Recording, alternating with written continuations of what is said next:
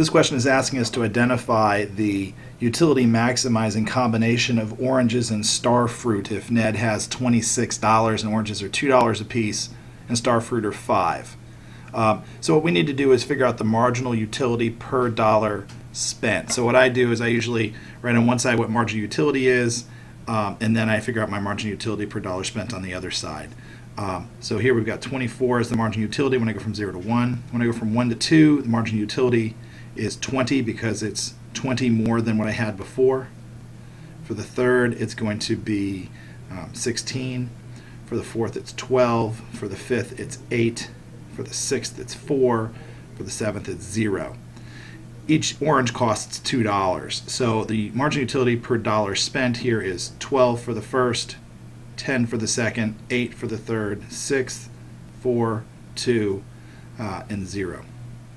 For starfruit, um, we see that total utility goes from 0 to 70 for the first one. It increases by uh, 60 for the second, by 50 for the third, by 40 for the fourth, 30 for the fifth, 20 for the sixth, 10 for the seventh.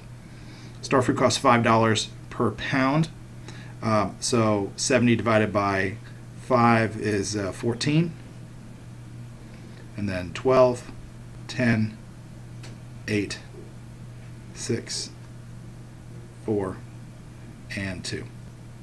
So now we can figure out what the, the, the best combination is for his $26. The first thing he'll buy is a star fruit because he gets 14 uh, dollar uh, util utility per dollar spent is 14 versus 12, so he'll buy one star fruit.